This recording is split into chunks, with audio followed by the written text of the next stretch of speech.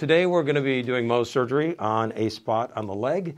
And the reason we're doing Mohs on the leg is because this is a, more aggressive type of cancer. It's called a basal squamous cell carcinoma.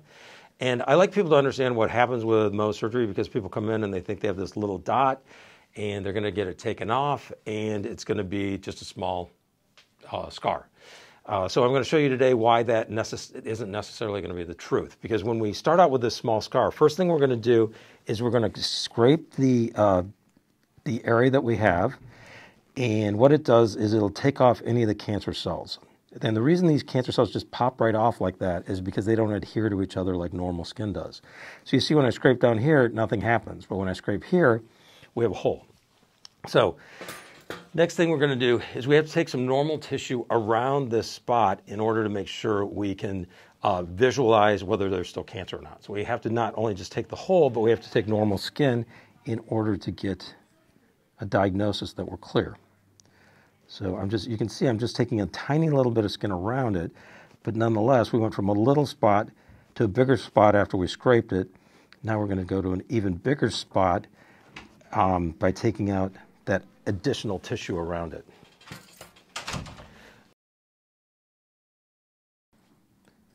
And what we do is we bevel the edge here when we take the tissue. The reason we bevel the edge is that way we can lay it flat and um, we can look at every edge of the cancer.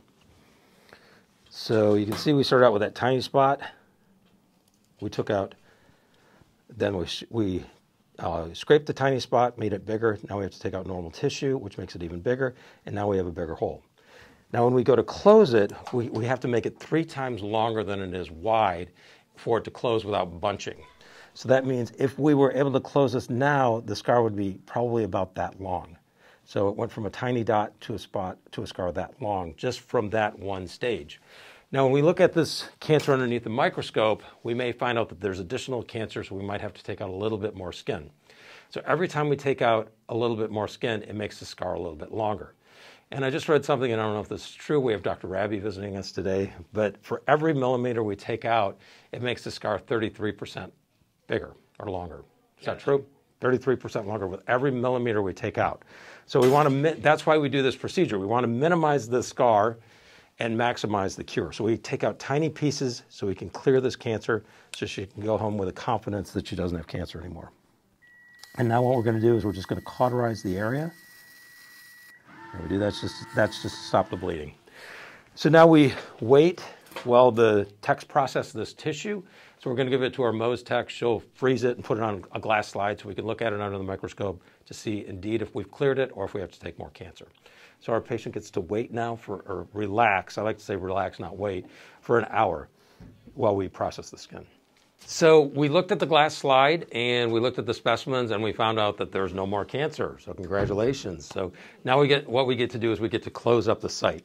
Now when we do that, what we're going to do is we want to take this round circle and turn it into something that's going to be as small as possible of a scar, um, but also look nice. Now, in this situation, what we're going to do is we're just going to do what we call a simple closure, and that's where we're going to cut out what we call dog ears on the sides, and um, we have to make it three times longer than it is wide. So when we pinch the, the hole together, it doesn't bunch like this; it just lies flat. So we'll be showing you that in a minute after the tray's set up. So we are going to do the closure now, and what I like to do first of all is I like to draw the line, and it just tells us what direction we're going to go, and we see we've got lots of movement here, so that's going to be easy. We're going to clean off the area with Hibiclens. Hibiclens is a great antiseptic that we're going to use. And then next thing we do is we just numb up the area. And we've already numbed her up so we know that she's not allergic to lidocaine. Yeah. So here comes the numbing.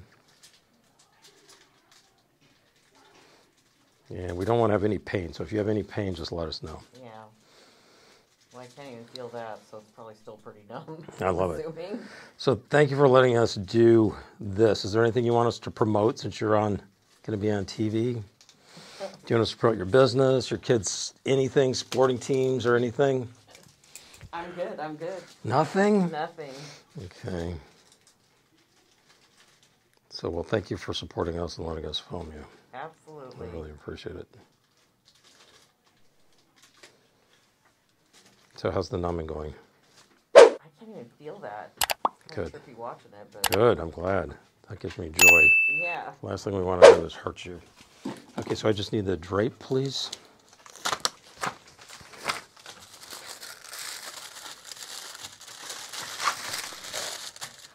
I know, it would have been a party. Yeah, she's done, done everything. Yeah, she's giving a shout out to Elaine, one of our nurse practitioners. Yeah, and then the blade, great. please. We love Elaine. You know, I got Elaine when I worked in San Francisco for six months. She was my nurse, uh, my medical assistant. She's been here for how long? Um, I think it's 18 years. Yeah. Okay, so now what we're going to do is we're going to cut out what we call Burow's triangles, and these are these little triangles I'm making at the top. The reason we do this, as I said it earlier, is we want to make sh- we want to minimize um, the puckering of the hole. So if we just try to close it a bunch, but now that we've cut out these triangles, it won't bunch. And we talked about the size, how people come in with that little spot and they're like, I don't understand why the scar is going to be so long. You're getting an idea right now why it looks so big. So we start out with a tiny hole right here, and then we scraped it. It made the hole bigger, and then we cut around it so we could get some normal skin so we could make sure it's clear. And now we just cut out a little normal skin so that we can make it close without bunching. So the next step is to undermine and that's where we just take this and we just go underneath the tissue and try to loosen it up in the surrounding area. The reason we do this is so the tissue will slide together nicely.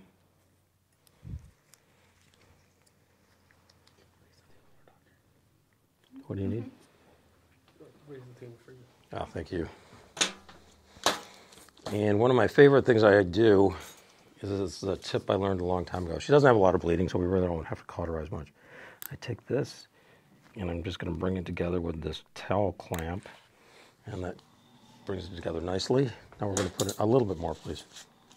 Yeah, keep going, keep going, keep going. Perfect. Thank you, Janaya. Now we put in buried sutures first, and these are the sutures that keep the skin edges together for an extended period of time. They, it takes six months before they fully dissolve.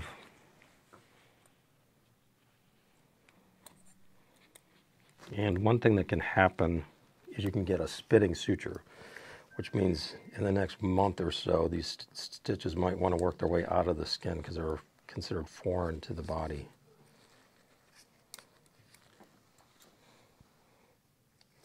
And flip, please. Do you mind blotting? Thank you. So these are the buried sutures.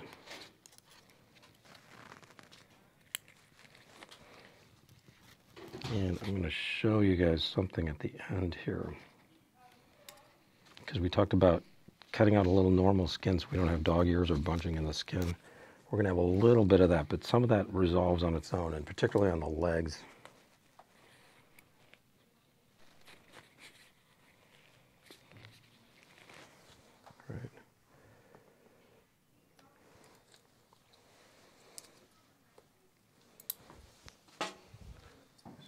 Just going to put in the last buried stitch.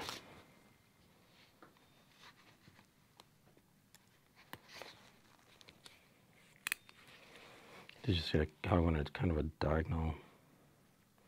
That can actually create a little bit of movement there, so it may not be perfectly lined up, but we'll see.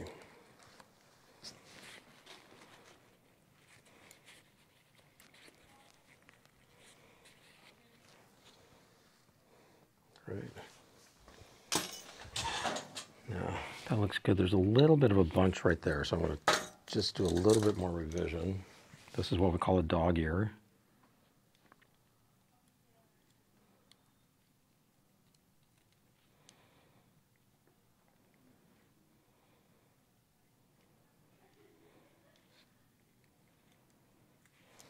So I just extend the line a little bit, take care of that.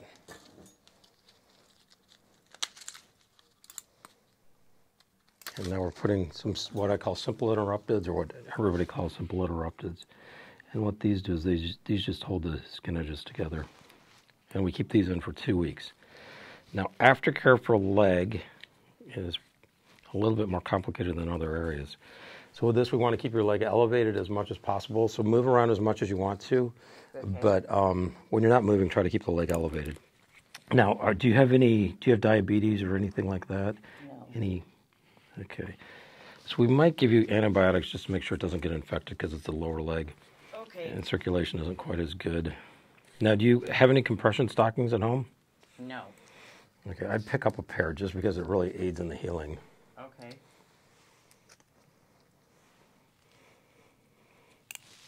And so let's give her doxycycline just to make sure it doesn't get infected.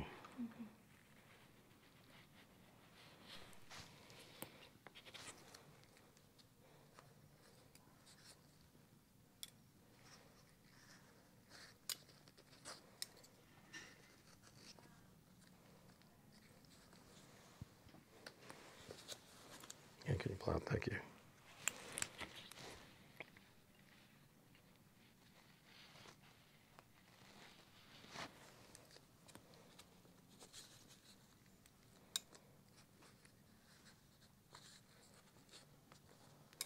If you have any problems with this, you can call us anytime and we'll take a look at it. So don't go to the emergency room or urgent care or anything like that. Okay. So you can just call us and just say you had a surgery and you need to see me. Okay, and that's all there is to this.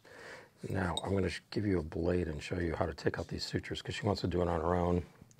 She works in the healthcare field, so I don't mind. I can't get it out. You will come back here and see us. Okay. Okay. So what you'll do is you'll take this blade here, just like that, and then you just will slide it under the knot with a bevel up. So you'll hold the knot with a pair of pickups, Okay. put this underneath, and then slip it, and it'll just come right out. Okay. Does that make sense? Yep. So you'll have these pickups. You'll hold this knot. These are uh, tooth forceps, so you can't do it. Get underneath there, lift it, and it'll just pull right out Okay. two weeks. If you have any questions, though, whether it's ready to go out, whether they're ready to come out or anything, no, let us know. Okay. Yeah, yeah. Um, is that gonna like be painful later? It should be controlled with Tylenol and Motrin. If it's more painful than that, just let us know. Okay. Yeah. Perfect. Okay, you did great. You're our superstar. Yeah. So I want to see you back in six weeks just to see how it's healed, to make sure you like the way it looks. All right. Okay? Okay, Thank you so much, and thank you for letting us film. Thank you guys for tuning in.